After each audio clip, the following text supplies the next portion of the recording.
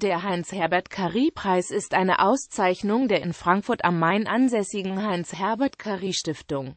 Der im Jahr 1982 initiierte Preis wurde zum Andenken an den im Mai 1981 ermordeten hessischen Staatsminister und FDP-Vorsitzenden Heinz-Herbert Curry gestiftet.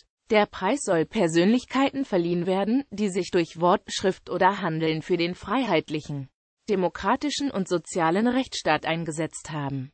Er ist mit 5000 Euro dotiert und wird in zweijährigem Turnus vergeben.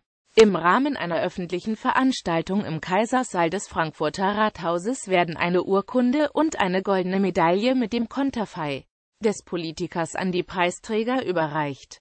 Preisträger 1983 Theodor Eschenburg 1985 Wolf Graf Baudisen 1987 Ernst Bender, 1989 Otto Esser, 1991 Lieselotte Funke, 1993 Ignaz Bubis, 1995 Hermann Rappe, 1997 Manfred Rommel, 1999 Johann Philipp von Bettmann, 2001 Richard Schröder, 2003 Jutta Limbach, 2005 Joachim Gauck, 2007 Paul Kirchhoff, 2009 Ludwig Georg Braun, 2014 Klaus von Donani